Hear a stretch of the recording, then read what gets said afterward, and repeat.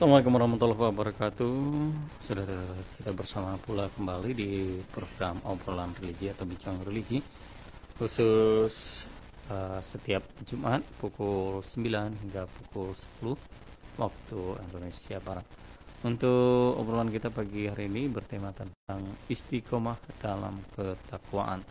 Kembali bersama Kementerian Agama Kota Pekanbaru jadi bidang penyuluh agama Islam dan untuk pagi hari ini kita sudah bersama kembali dengan Ustaz Dr. Dian Eka Putra MSI. Assalamualaikum Ustaz. Waalaikumsalam warahmatullahi wabarakatuh Ustaz. Ya, Alhamdulillah kita dapat rezeki silaturahim kembali pagi hari ini ya. Uh, beberapa waktu lalu kita juga sudah pernah uh, berbincang atau ngobrol pada program 4 di program yang sama yaitu obrolan religi. Namun kali ini eh, dalam suasana Ramadan dengan tema istiqomah dalam ketakwaan. Silakan Ustaz. Baik, terima kasih Pak. Eh, kita mulai ya. Bismillahirrahmanirrahim. Assalamualaikum warahmatullahi wabarakatuh. Waalaikumsalam warahmatullahi wabarakatuh. الحمد لله الحمد لله الذي أنعمنا علينا بنعمة الإيمان والإسلام هو الذي أنزل السكينة في قلوب المؤمنين ليزدادوا إيمانا مع إيمانهم أشهد أن لا إله إلا الله وحده لا شريك له وأشهد أن محمدا عبده ورسوله لا نبي بعده اللهم فعنا بما علمتنا وعلمنا ما ينفعنا وزدنا علما Allahumma inna na'udzubika min ilmin la yanfa' wa min qalbin la yakhsha' wa min nafsin la tasba' wa min du'ai la yusma' amin ya rabbal alamin. Sobat setia Pro 4 RRI yang di mana pun berada semoga Allah selalu melindungi kita semua dalam uh, keimanan dan ketakwaan kepadanya Semoga bapak-bapak, ibu-ibu semua yang dirahmati Allah Tabaraka wa taala yang berada dalam ruang dengar ini seluruhnya adalah insan beriman yang merupakan komitmen jati diri insan yang bertakwa kepada Allah Tabaraka wa taala. Maka dari itu, bapak-bapak, ibu-ibu rahmati Allah Tabaraka wa taala, hari ini kita mendapatkan banyak keberkahan tentunya Pertama keberkahan yang pertama adalah hari ini adalah di hari Jumat yang agung di Sayyidul Ayyam penghulu daripada hari kita tetap melaksanakan Ramadan dan berpuasa dengan aktivitas-aktivitas ibadah yang Allah berikan kepada kita. Ini merupakan keberkahan yang pertama. Dan oleh sebab itulah keberkahan di hari Jumat ini kita manfaatkan semaksimal mungkin kita manfaatkan sebaik-baik mungkin di bulan Ramadan yang berkah ini dengan melakukan amal-amal soleh dengan melakukan kebaikan-kebaikan yang nyata tentunya. Inilah keberkahan yang pertama yang kita dapatkan pada pagi hari ini. Kemudian keberkahan yang kedua yang kita dapatkan pada pagi hari ini adalah kita adalah pengikut Rasulullah Sallallahu Alaihi Wasallam. Maka dari itu untuk mendapatkan keberkahan di pagi ini, jangan pernah bosan, jangan pernah berhenti untuk bersalawat kepada Nabi besar Muhammad sallallahu alaihi wasallam dengan mengucapkan Allahumma salli ala sayyidina Muhammad wa ala ali sayyidina Muhammad. Karena itulah bentuk kecintaan kita kepada Rasulullah sallallahu alaihi wasallam dan bentuk kecintaan tersebut kita aplikasikan dalam tindakan yang nyata innamal bu'istu liutammima makarimal akhlak sesungguhnya Rasulullah Shallallahu alaihi wasallam itu diutus untuk menyempurnakan akhlak-akhlak. Maka akhlak terbaik yang seharusnya kita tiru adalah Rasulullah Shallallahu alaihi wasallam. Maka dari itu kita diminta untuk terus melakukan kerinduan kita kepada Rasulullah Shallallahu Alaihi Wasallam bukti kecintaan kita karena mungkin banyaknya salawat kita di yaumil akhir kelak kita akan mendapatkan syafaat dari Rasulullah Sallallahu Alaihi Wasallam dan inilah tujuan utama kita pada hari ini dan Rasulullah pernah sampaikan aku akan bersama dengan orang-orang yang engkau cintai. Engkau akan bersama dengan orang-orang yang engkau cintai. Maka kecintaan tersebutlah yang menjadi pondasi tolak ukur kita tentang kerinduan kita kepada Rasulullah sallallahu alaihi wasallam. Maka Bapak-bapak, Ibu-ibu rahmati Allah tabaraka wa taala, siapa tahu dengan kecintaan dan kerinduan kita kepada Rasulullah sallallahu alaihi wasallam bisa mengantarkan kita dengan syafaat Rasulullah sallallahu alaihi wasallam di yaumil akhir kelak. Dan inilah potensi terbesar kita yang merupakan potensi tertinggi dalam komitmen kita sebagai seorang seorang muslim. Siapa tahu nanti di yaumil akhir kelak Rasulullah sallallahu alaihi wasallam datang bersama kita membawakan air dari telaga Kautsar untuk kita untuk kita minum. Dan legalah dahaga kita ketika Rasulullah sallallahu alaihi wasallam memberikan air dari telaga Kautsar untuk kita. Kemudian kita meminumnya dan kemudian Rasulullah sallallahu alaihi wasallam mengajak kita bertetangga di surganya Allah tabaraka taala. Inilah komitmen kita. Bapak Ibu rahmati Allah tabaraka taala Hari ini adalah hari Jumat 25 Ramadan 1445 Hijriah. Artinya apa? Artinya adalah hari-hari terakhir kita untuk menyelesaikan aktivitas-aktivitas Ramadan kita. Dan aktivitas-aktivitas tersebut tentu saja harus kita maksimalkan di penghujung-penghujung bulan Ramadan tersebut Maknanya apa? Maknanya ternyata di akhir-akhir Ramadan ini banyak kita dapati sahabat kita atau keluarga kita atau orang-orang yang ternyata bukannya semakin tinggi tingkat uh, semangat dia dalam meraih pahala di bulan Ramadan, tapi justru sebaliknya. Ketika sudah berada di penghujung bulan Ramadan, mereka kembali dalam kesemangatan yang tidak lagi semangatnya pada waktu awal-awal Ramadan. Dan inilah sudah menjadi rahasia umum buat kita. Ketika agenda-agenda kita di bulan Ramadan di penghujung bulan Ramadan kita maksimalkan dan kemaksimalan tersebutlah yang menjadi tolak ukur kita dalam keimanan kita dan ketakwaan kepada Allah taala. Justru di penghujung bulan Ramadan inilah banyaknya ibadah-ibadah yang Allah tawarkan kepada kita. Mulai dari meraih Lailatul Qadar, kemudian selanjutnya iktikaf, kemudian selanjutnya menunaikan zakat fitrah, kemudian selanjutnya menyelesaikan khataman khataman Quran, kemudian selanjutnya melaksanakan aktivitas-aktivitas apa pun hingga kita mendapatkan pribadi yang mutakin di penghujung Ramadan.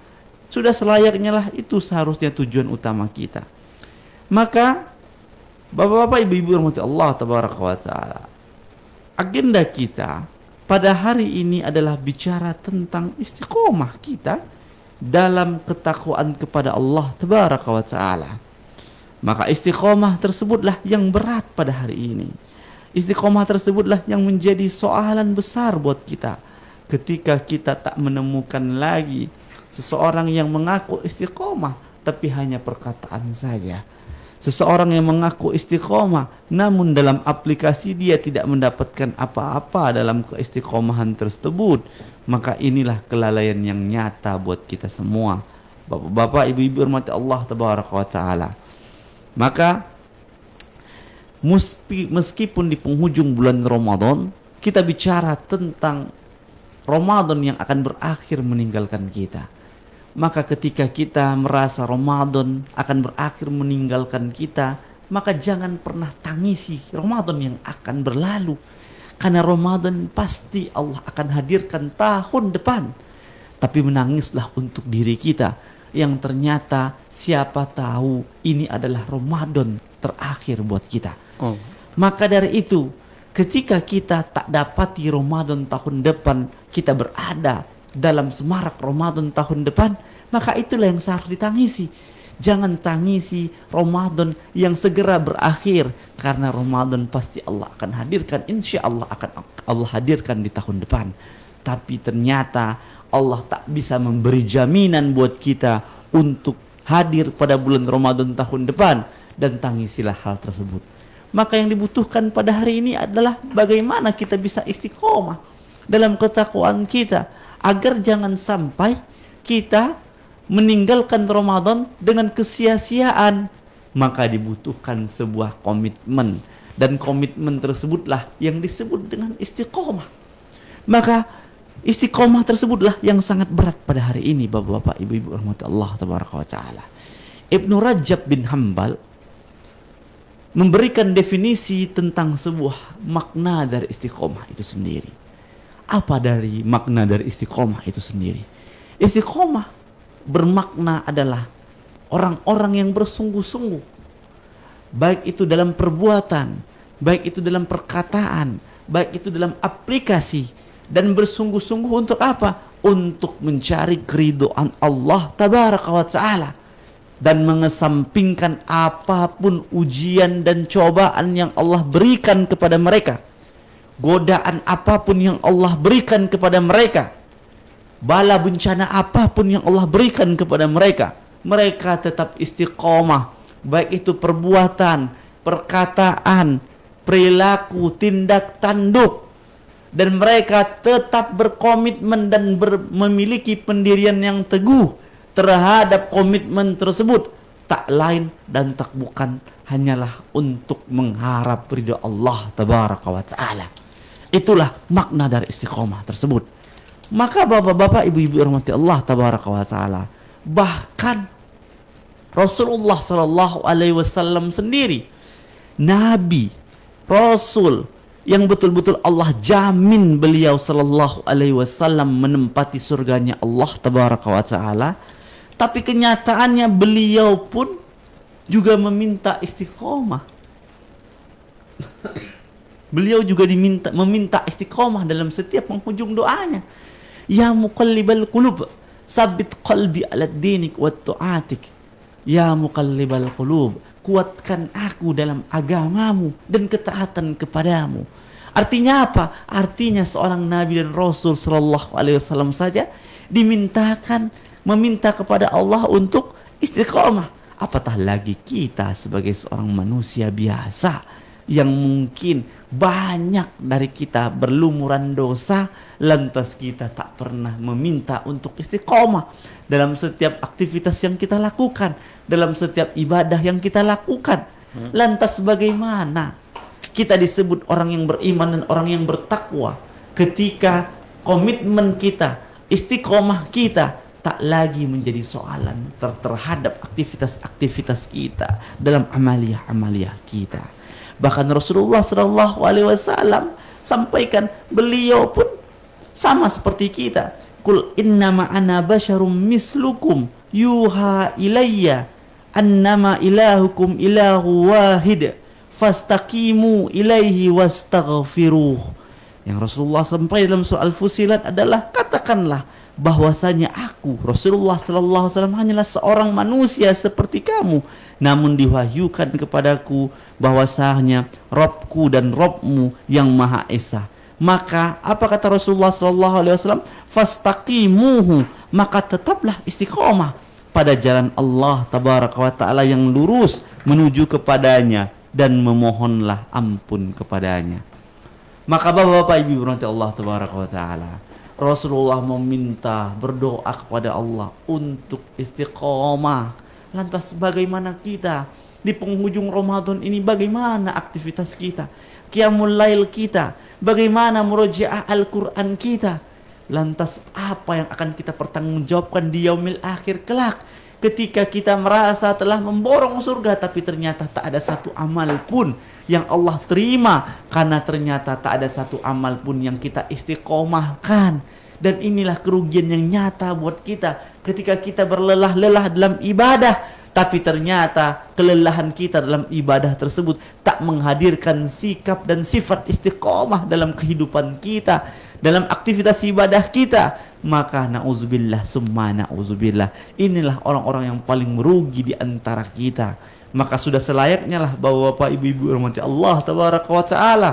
Bermohon ampunlah kepada Allah sebagaimana Ibnu Rajab bin Hambal dalam setiap penghujung doanya selalu berdoa kepada Allah Allahumma anta rabbuna farzuqnal istiqamah.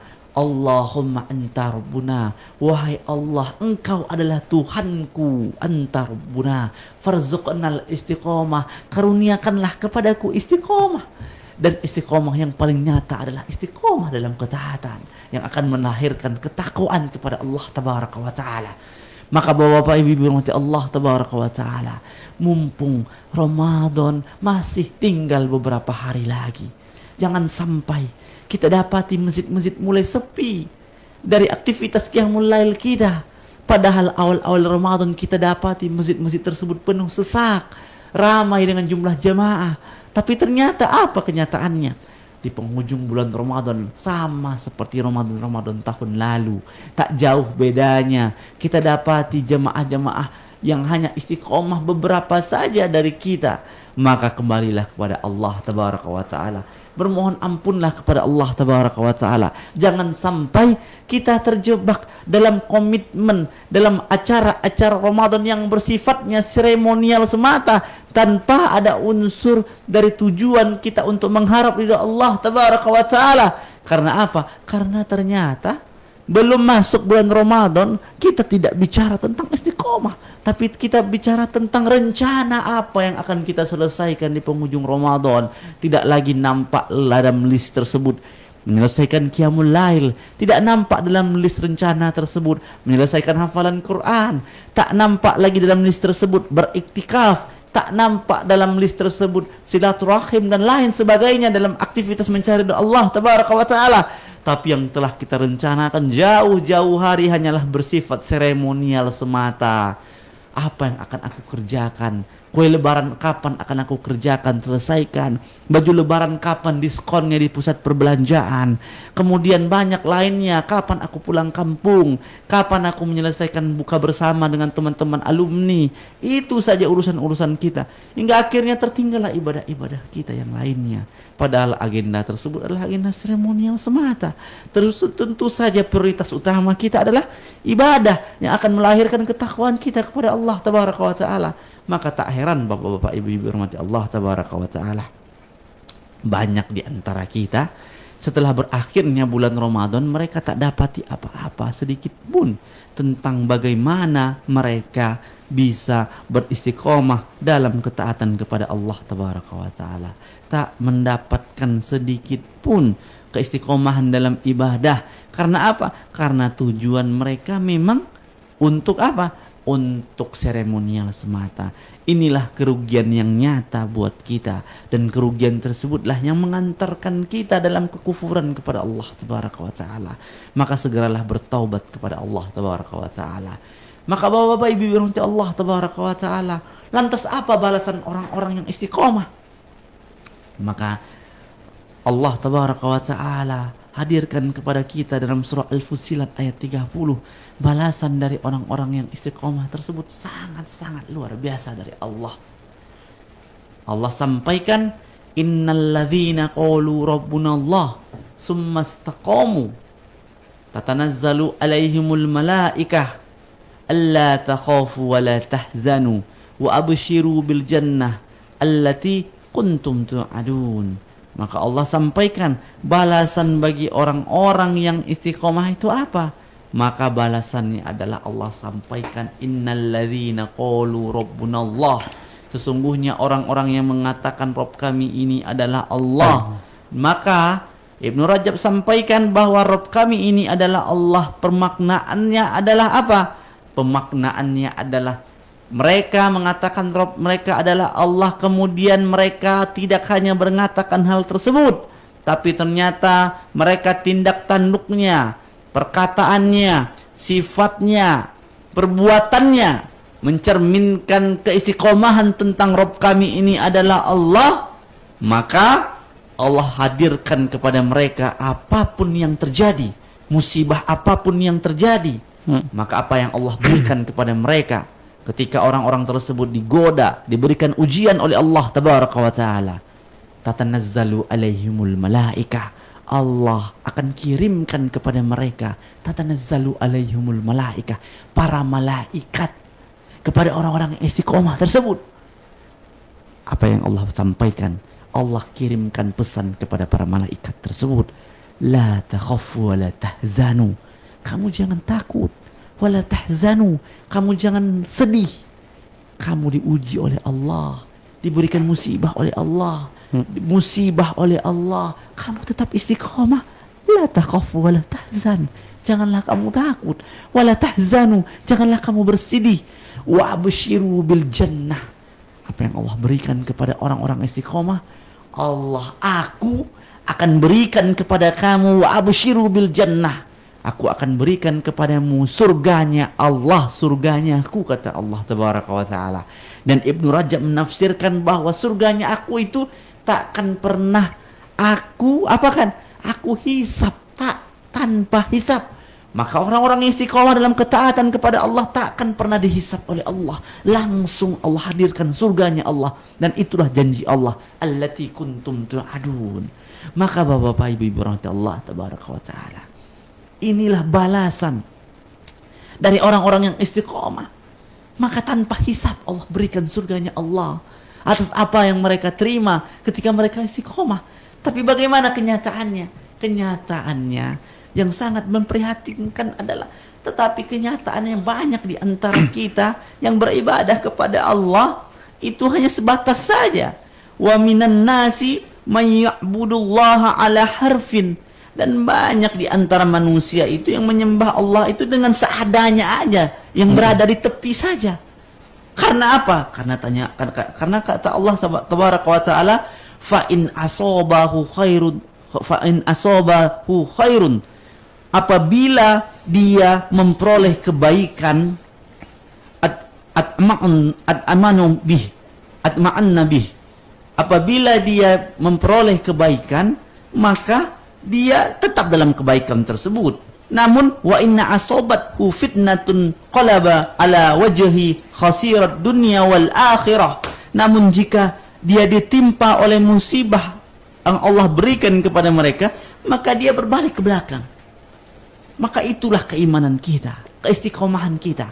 Kita istiqomah dalam ketaatan, ibadah, merasa. Tapi ketika Allah berikan mereka sedikit ujian saja, mereka menjadi kufur, mereka menjadi berbalik belakang. Banyak di antara kita seperti itu. Maka na'udzubillah, semua na'udzubillah. Banyak di antara kita diuji sedikit kecobaan, keperitaan, musibah. Mereka merasa mereka beriman kepada Allah, mereka merasa istiqomah bertakwa kepada Allah, tapi sedikit saja ujian dan cobaan yang Allah titipkan kepada mereka, maka runturlah keistiqomahan mereka dan merekalah orang yang paling kufur terhadap nikmat Allah yang selama ini Allah berikan kepada mereka. Maka inilah orang-orang yang paling merugi di antara kita. Bahkan bapak-bapak, ibu-ibu rahmat Allah tabaraka wa taala. Konsep yang paling terkini kita dapatkan adalah Terkadang kita hanya melihat pandangan manusia tanpa melihat pandangan Allah di mata kita. Hmm.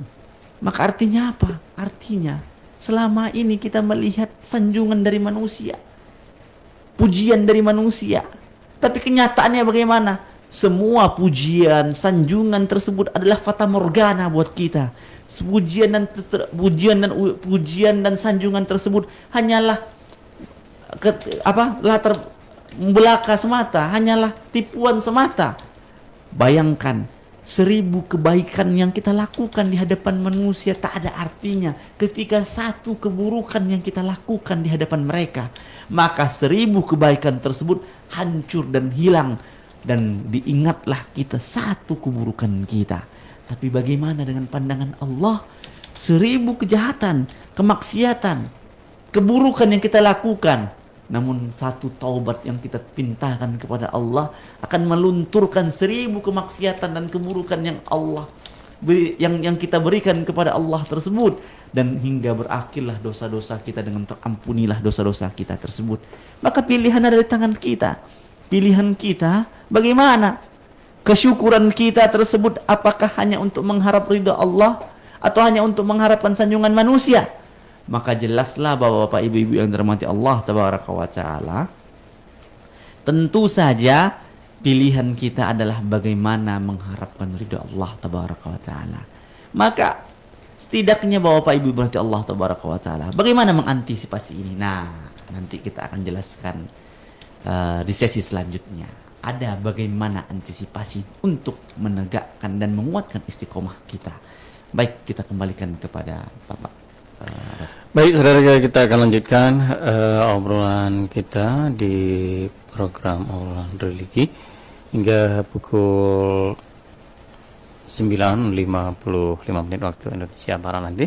Kita jeda dulu, selanjutnya nanti kita akan buka interaktif di 0761 Dapat juga sampaikan pertanyaan melalui line WhatsApp di 0811 7600 959 atau silakan komen di kanal Facebook Pro 4 Pekan Baru. makan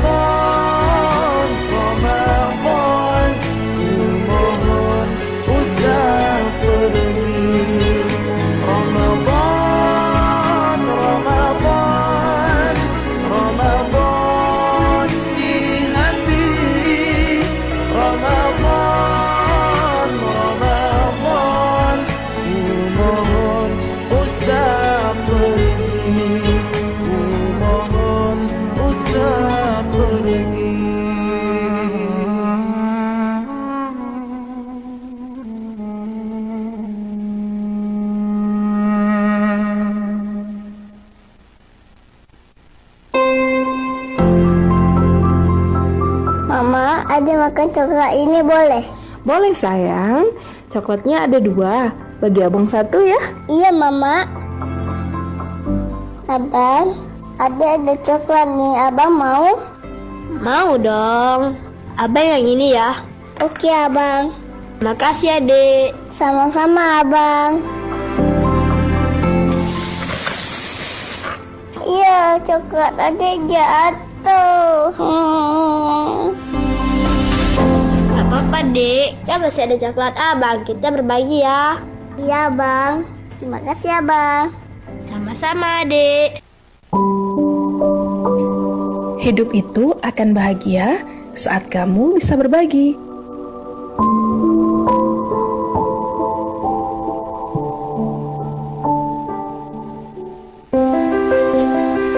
Halo Wan, titipannya wis tak weni kepada Krusno yo. Mongko arep dikabari. Yo wes, aku mangkat sek. Sis, barusan teleponan nama siapa? Hari gini, teleponan pakai bahasa daerah. Ya elah, kuno banget. Perasaan lo fasih deh bahasa Inggris. Kenapa nggak pakai bahasa Inggris aja sih? Aku di rumah udah biasa pakai bahasa daerah selain bahasa Indonesia. Kakakku yang tinggal di Australia, kalau telepon sama aku masih pakai bahasa daerah kok. Oh, gitu. Bahasa daerah atau bahasa ibu itu bagian dari kearifan lokal yang harus dipertahankan dan dilestarikan. Bahasa asing juga penting, tapi jangan kita lupakan bahasa ibu sebagai bahasa asal kita.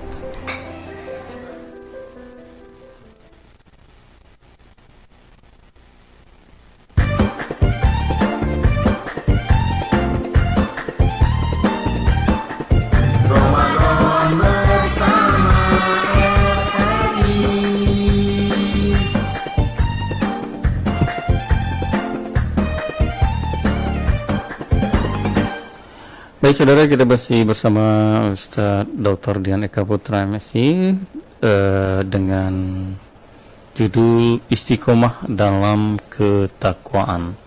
Yang akan bergabung silakan di 0761236606 0761236606 pertanyaan oleh WhatsApp silakan di 0811 7600 959 istiqomah dalam ketakwaan ya sambil menunggu penelpon yang masuk di 0761236606 kita lanjutkan Ustaz eh, tadi bagaimana rahasianya agar bisa istiqomah gitu ya yang akan kita lanjut ya silakan Ustaz Baik, eh, Bapak Ibu yang dirahmati Allah Tabaraka wa taala.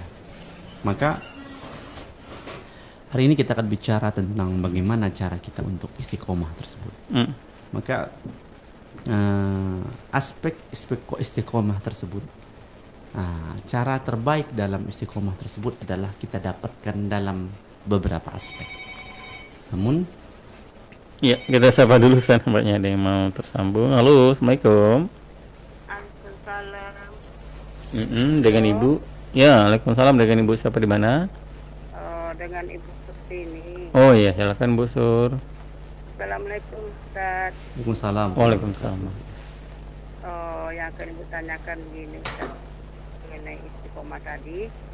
eh, Supaya bagaimana hendaknya kita itu tetap oh, istiqomah untuk selamanya. Karena kadang kan iman kita tuh ah, turun sekarang naik. Nah kan Ustaz ya. hmm. Jadi itulah yang Ibu tanyakan. Bagaimana kita istiqomah selamanya lah. Oh, jadi itu aja yang akan ibu tanyakan Ustaz. Mm-mm. Ya Harun. yuk Oh ini ada sedikit pantun apa nama Islam. Hmm. Burung murai terbang berkicau hingga sebentar di atas dahan. Air mata jatuh berderai. Kita akan berpisah dengan Ramadan. Ah, terima kasih Ustaz. Assalamualaikum Ustaz. Assalamualaikum Harun. Yuk.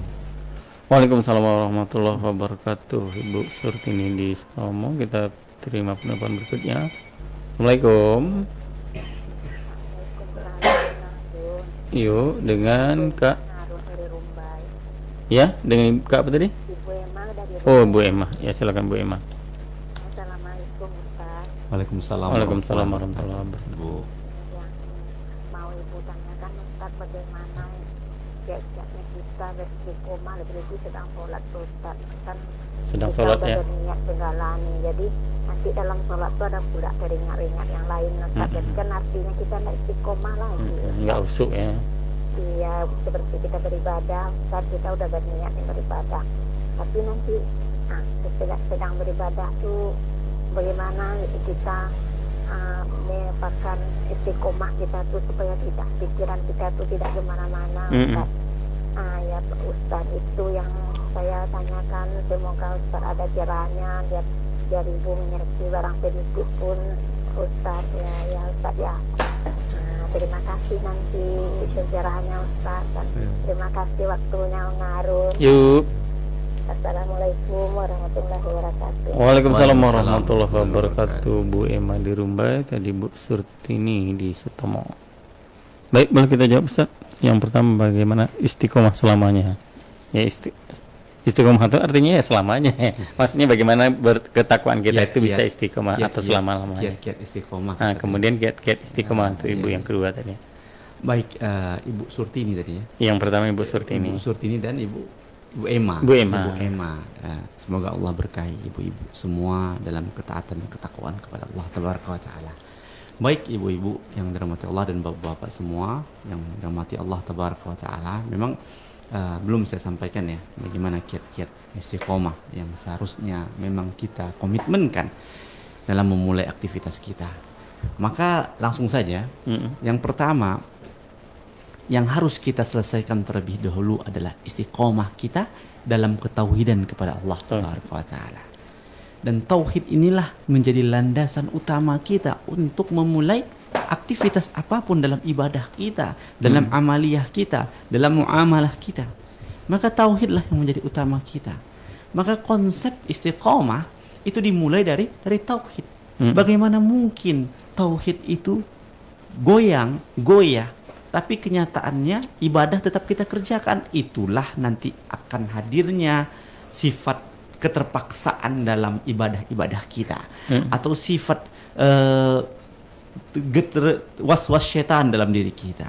Maka yang harus kita selesaikan atau kiat-kiat utama yang harus kita selesaikan agar kita menjadi orang yang istiqomah adalah kita harus menguatkan komitmen terhadap tauhid kita. Karena beruntung bapak-bapak, ibu-ibu semua terlahir dari keluarga muslim. Tak perlulah syahadat. Saya pengurus Yayasan Pembinaan Mu'alaf Riau, bapak-bapak, ibu-ibu. Banyak orang-orang mu'alaf tersebut bertanya kepada saya, Ustaz, apa salah saya? Kenapa Allah takdirkan saya terlahir dari keluarga Nasrani? Kenapa Allah terlahir lahirkan saya dari keluarga non Islam? Kaulah tahu saya nikmatnya, manisnya hidayah ini sangat luar biasa. Kaulah tahu saya tauhid ini sangat manis rasanya. Kenapa Allah menghadirkan saya terlahir dari keluarga non Muslim? Apa yang saya jawab?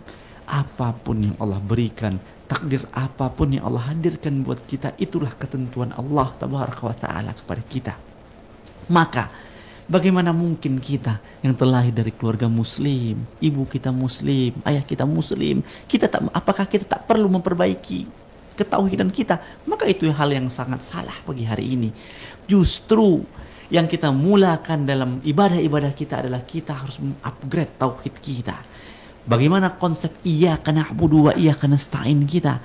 Allah lah satu-satunya tempat kita menyembah. Allah lah satu-satunya tempat kita meminta. Harus kita jabarkan dalam konsep tersebut. Bagaimana Haji Rasulullah SAW menyampaikan bunyal Islam alal khamsin.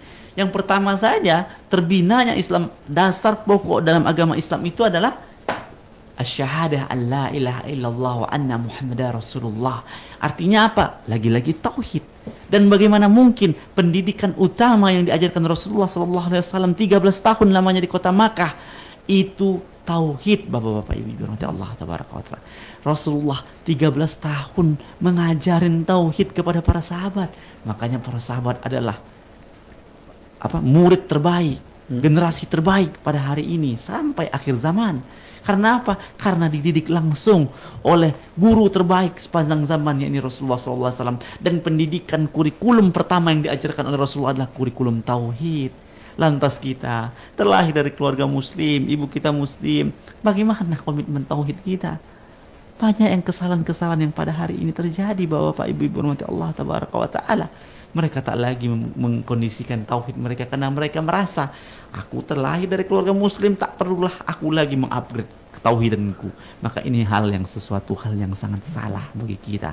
Maka Bapak Ibu Ibu rahmati Allah tabaraka wa taala. Akhirnya bagaimana? Akhirnya menghadirkan generasi-generasi yang sekuler, generasi-generasi yang uh, plural, yang tidak lagi mengedepankan kaidah-kaidah beragama, yang tak lagi mengedepankan uh, komitmen terhadap keistiqomahan dalam ibadah. Mereka merasa ibadah tersebut hanyalah di masjid saja.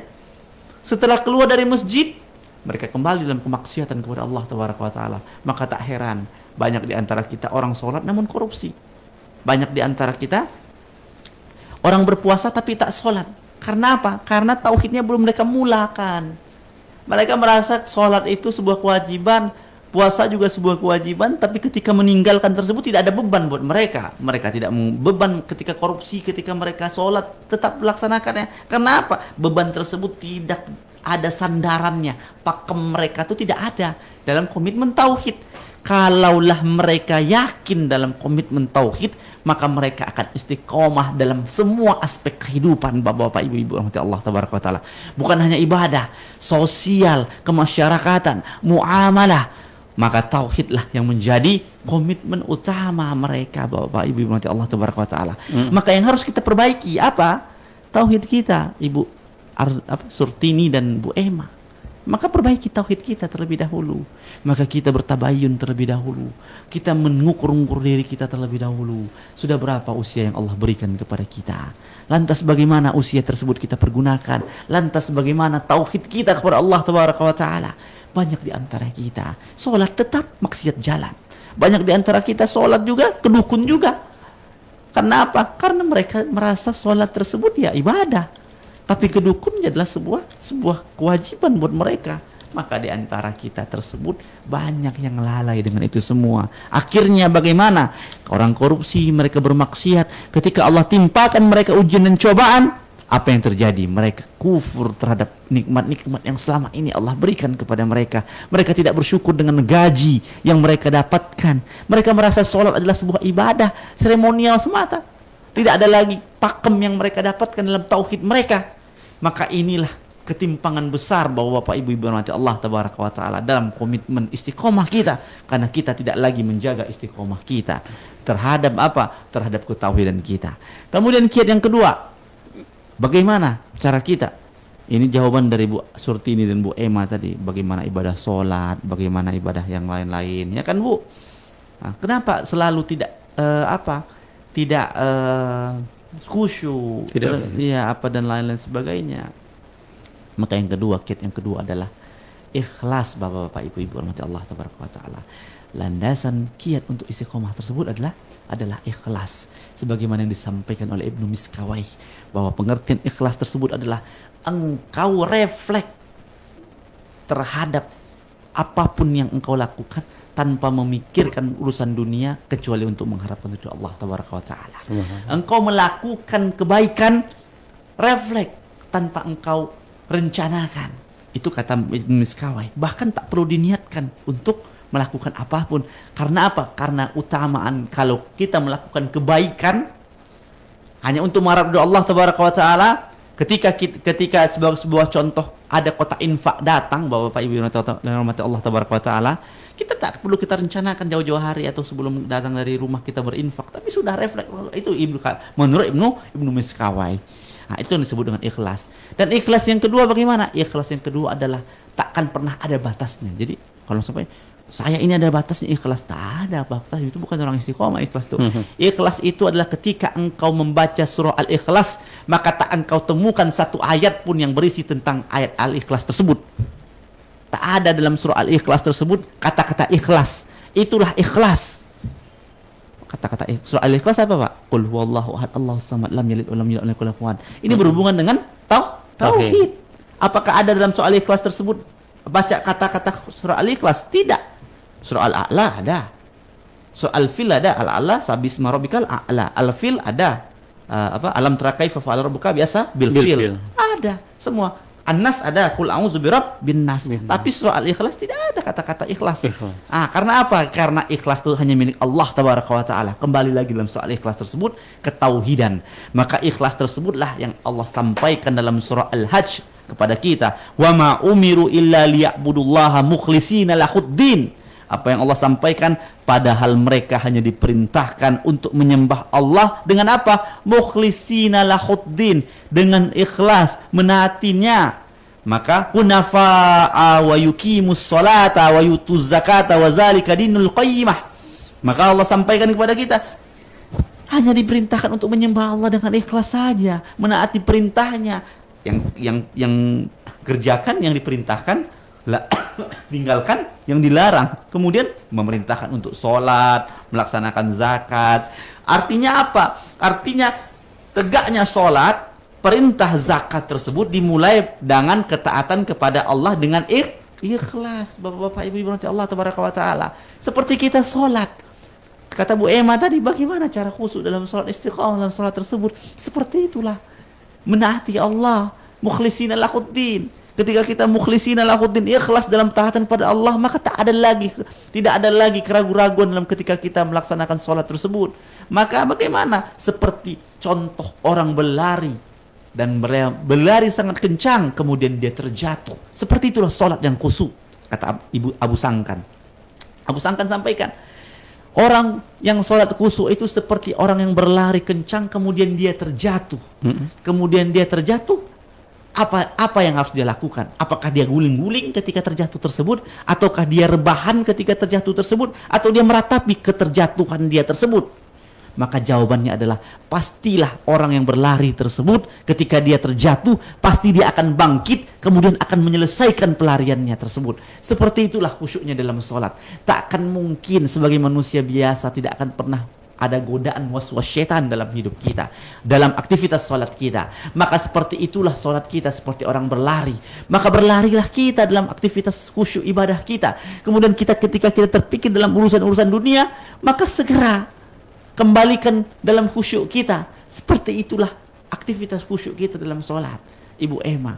Jadi ketika ibu sholat, ketika ibu pikirkan cicilan rumah atau pikir cicilan mobil atau ibu pikirkan uh, urusan-urusan uh, atau beban-beban dunia, maka ketika itulah was-was syaitan hadir, maka ketika ada nafsu dan akal pikiran yang masih bergelayut dalam hati dan pikiran kita. Hmm. Artinya apa? Ketika nafsu kita berkata, lanjutkan angan-angan tersebut ketika kita sholat, tetapi ada otak dan pikiran kita yang memberikan pakem terhadap terhadap godaan syaitan tersebut. Maka kita beranggapan bahwa ketika kita dapat uh, apa tidak khusyuknya kita dalam sholat, kita harus bangkit kembali, kembalikan lagi dalam posisi awal maka posisi awal kita bagaimana? Posisi awal kita tetap dalam niat solat kita. Itu makna dari ibadah khusyuk dalam dalam solat kita. Maka tak menutup kemungkinan kitalah manusia biasa yang selalu digoda oleh setan, hmm. was-was setan. Yeah. Maka ikhlas dalam solat, kuatkan tauhid kita. Seperti ibadah tersebut ketika apa pun kita melakukan ibadah tak lain dan tak bukan untuk mengharapkan ridha Allah maka demi Allah tabaraka wa taala. Ketika kita ikhlas dalam sholat kita dalam puasa kita dalam zakat kita dalam aktivitas apa pun kita ikhlas maka demi Allah tabaraka wa taala. Bagaimanapun ujian yang hadir baikkah itu musibah bala bencana bahkan dalam sholat sekalipun tapi kita tauhid kita kuat dan ikhlas untuk mengharapkan ridho Allah tabaraka wa taala maka demi Allah tabaraka wa taala Allah akan hadirkan apa tadi? Summastaqamu tatanazzalu alaihimul malaikah alla taqafu wa la tahzanu wa abshiru bil jannah. Allah akan hadirkan langsung surganya Allah tanpa hisab. Karena orang-orang istiqomah tersebut dalam ketauhidan dalam keikhlasan tersebut tak perlu lagi dihisap. Langsung allati kuntum tu'adun. Inilah hal yang Allah janjikan kepada orang-orang yang ikhlas tersebut. Maka pilihan bapak-bapak ibu-ibu ada di tangan kita. Pilihan terbaik adalah bagaimana kita bisa menguatkan ketauhidan kita. Bagaimana kita bisa menguatkan komitmen kita. Inilah komitmen terbaik kita. Wallahu alam bisawab Baik, eh, terima kasih kita kebersamaannya pagi hari ini. Kita sudah bersama di program Obrolan Religi dengan tema istiqomah dalam ketakwaan. Kita sudah dengan mengucapkan hamdalah dan kepada masjid subhanallah wa bihamdika asyhadu an la ilaha illa anta astaghfiruka wa atubu Insyaallah kita akan bersua kembali di lain waktu dengan topik bincangan yang berbeda pula.